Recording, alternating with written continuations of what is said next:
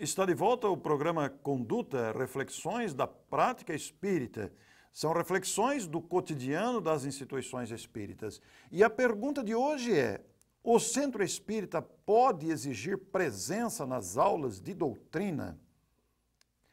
Normalmente, as instituições espíritas oferecem cursos de doutrina espírita, oferecem programas de estudo para que os frequentadores das instituições possam tomar conhecimento completo das atividades que as instituições oferecem.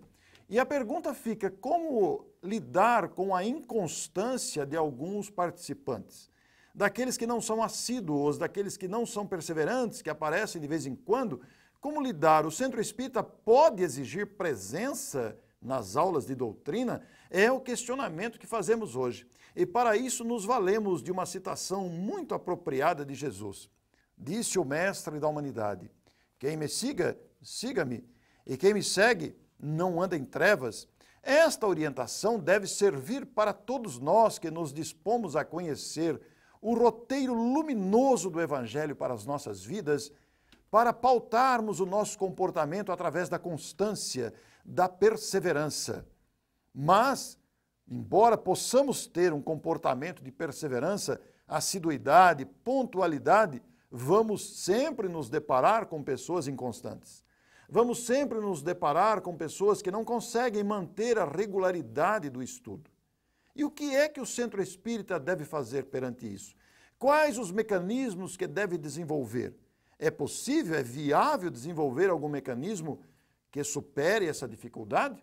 O que é que pensa o telespectador sobre a inconstância ou a falta de assiduidade e perseverança nas aulas de doutrina.